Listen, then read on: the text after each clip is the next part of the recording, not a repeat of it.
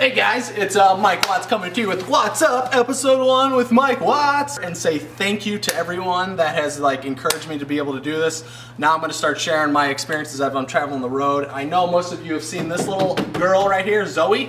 Uh, we got a new plate though, little main B free action. But now we're gonna switch from the road trip I'm about to take from Scottsdale, Arizona to Tampa, and then Tampa up the coast to Maine. We're gonna switch over to my truck, Susie. I know you'll absolutely love her.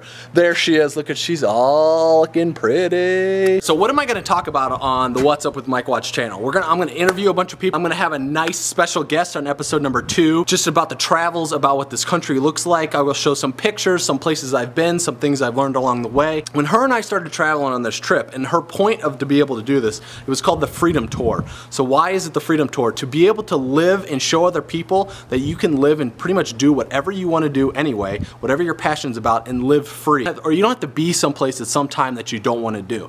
It means that the fact that you can just pretty much do whatever you want to be able to do. And that's been the best part about traveling around the country and be able to share these experiences with other people. It's to show that there is a different way that people can live. I've met people all over this entire planet and I met families that are literally traveling the world right now. There's families on YouTube being able to do this. It's everywhere that people are being able to live the life that they want to live and that's why they started, that's why one reason Kate started the Freedom Tour and that's one thing we've accomplished by being able to do it. We've been traveling since February and as you can see now it is nice and sunny but here is what it looked like in Buffalo, Ellicottville, New York when we took off in February.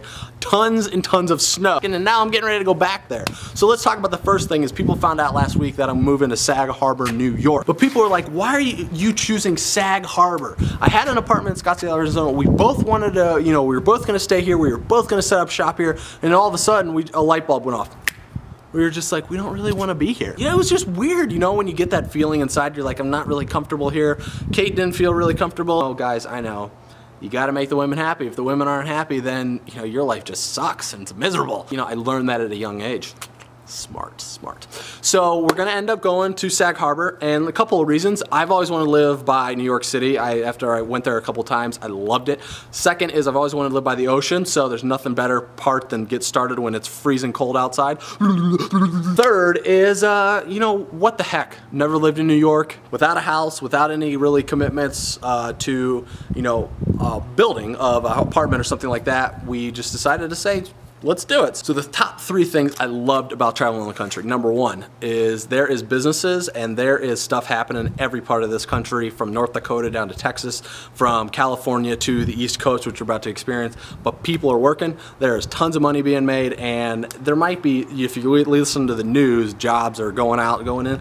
I've seen so much work and so much growth across this way. It gives me the hope that this country will be able to pull itself out. Because if you listen to the news right now, it's like, it's like death is happening right now across the world. Yes, there is struggle. Yes, there is unemployment. Yes, there is these things, but there is growth that people are having and they're visioning this. I love seeing that. Why number two, I believe that travel is so important for people to, to do this and to live this way. Not necessarily travel all the time, but at least take vacations, at least take trips because you are seeing a different part than where you're getting out of your comfort zone. Like I grew up in Indiana. Indiana looks completely different than what Hawaii does, even though I've never been there, but even California or Arizona, completely different and the experience you're getting as you're traveling across this country, it really shows you a different way. It shows you how to be able to interact with different cultures, grow from that standpoint, and I love it, love it, love it, love it. The third is that the people the people of whatever place I go, wherever I travel out in this country, whatever state I go to,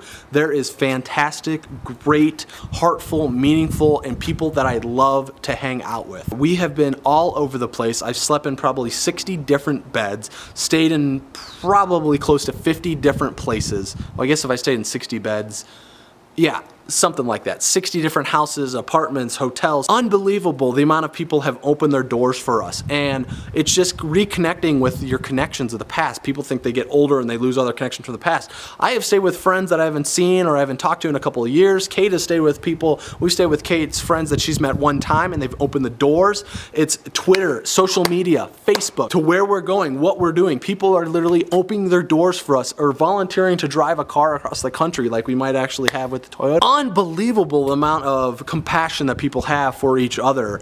And we get in this redundancy of day to day activities about life. And it's like nobody cares or nobody wants to help each other or nobody wants to talk to each other. Like, but it's not true. Like, in people that have been following me for a while, I've talked about TV, TV, TV, TV. The news is like, Ugh. and you know, but you see that compassion and when you're with people and the way they'll be able to help you out. I mean, that is by far the third, I mean, it's pretty much my number one reason why I love to travel. I love hanging out with people. I love meeting people. I love finding out what people are doing and to be able to see this. And we've had people that stayed with us down here that we met on Twitter. Just two girls that are traveling the country with their Great Dane called girlsgonemoto.com. That sums it up. I mean, I love traveling with what's up with MikeWatts.com. That's what we're doing. We're heading out in two days to go from here to Florida. So we'll be taking some video and some pictures along the way and be able to show you. All right, because now I've been to, I've only been to four countries, Mexico, Canada, United States, and Hong Kong. I believe. I could be wrong, Mom. I'm sorry. You have to correct me. My mom loves to correct me. I have four states left. So the four I left is Alaska, Hawaii, Delaware, and Vermont. Question of the day is where is the favorite place that you have been if you could stay anywhere? Mine would be the Oregon coast. Love it up there. Be the change in the world that you want to see. Gandhi. Have a great day. Bye.